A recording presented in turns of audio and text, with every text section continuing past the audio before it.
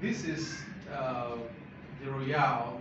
This one is three bedroom, then with a guest room. So it's going to be four bedroom, and this is majorly as a country home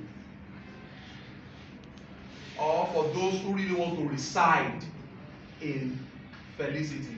The rest we have spoken is for investors. Yes, you can reside in your unit if you so want it, but this one is just those who want to have residencies in uh, uh, in, in, in Felicity. Uh, this is the flagship, but presently, uh, except on request, except on request, but we are going to be launching this one very soon. Um, I'm not telling you the price. Maybe I can only tell you 100 million.